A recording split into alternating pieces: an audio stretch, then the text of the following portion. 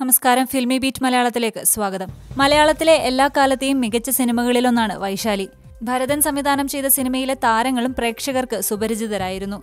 പ്രമേയത്തിലും അവതരണത്തിലും ഏറെ വ്യത്യസ്തമായെത്തിയ ചിത്രത്തിന് മികച്ച സ്വീകാര്യതയായിരുന്നു ലഭിച്ചത്. ഈ ഒരൊറ്റ ചിത്രത്തിലൂടെയാണ് സഞ്ജയ് മിത്രയും സുബർണ ആനന്ദും പ്രേക്ഷകർക്ക് സുപരിചിതരായി മാറിയത്. പൂച്ചക്കണ്ണുമായി എത്തിയ ഋഷ്യശൃംഖനെ ഇന്നും പ്രേക്ഷകർ ഓർത്തിരിക്കുന്നുണ്ട്. രൂപഭാവത്തിൽ ഏറെ മാറിയെങ്കിലും ഇന്നും ഈ താരത്തെക്കുറിച്ചറിയാൻ ആരാധകർക്ക് ആകാംക്ഷയുണ്ട്. മുപ്പത് വർഷത്തെ ഇടവേളയ്ക്ക് ശേഷം താരം വീണ്ടും വിശേഷങ്ങളുമായി എത്തുകയാണ്. റിമി ടോമി അവതാരകയായി എത്തുന്ന ഒന്നും ഒന്നും മൂന്നിൽ അതിഥിയായാണ് താരം എത്തുന്നത്.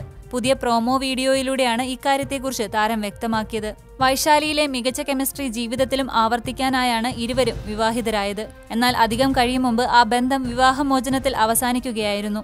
വൈശാലിക്ക് പിന്നാലെ ഒരു വടക്കൻ വീരഗാഥ പൂനിലാമഴ സ്മാർട്ട് സിറ്റി തുടങ്ങിയ സിനിമകളിലും സഞ്ജയ് അഭിനയിച്ചിരുന്നു.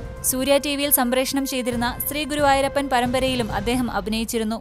ലുക്കിൽ ഏറെ മാറിയ താരം വിശേഷങ്ങളുമായി എത്തുകയാണിപ്പോൾ. ഒന്നും ഒന്നും മൂന്നിന്റെ പ്രോമോ വീഡിയോ ഇതിനോടകം തന്നെ യൂട്യൂബിലും വൈറലായി കഴിഞ്ഞു. സ്ത്രീ സാമീപ്യം എന്താണെന്നറിയാതെ കഴിഞ്ഞിരുന്ന ഋഷ്യശൃംഖനെ വശീകരിച്ച് നാട്ടിലെത്തിക്കുകയും തപസ്സിലൂടെ മഴ പെയ്യിക്കുകയും ചെയ്ത വൈശാലി പിന്നീട് ഞാൻ ഗന്ധർവൻ എന്ന ചിത്രത്തിലെ നായികയായും എത്തിയിരുന്നു.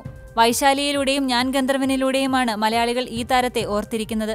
ഋഷ്യശൃംഖനും വൈശാലിയും കൂടി ഒരുമിച്ചതോടെ ആരാധകരായിരുന്നു ഏറെ സന്തോഷിച്ചത്. എന്നാൽ ഇടയ്ക്ക് വെച്ച് ഇരുവരും വേർപിരിയുകയായിരുന്നു. Entertainment desk Filmibeat Malayalam.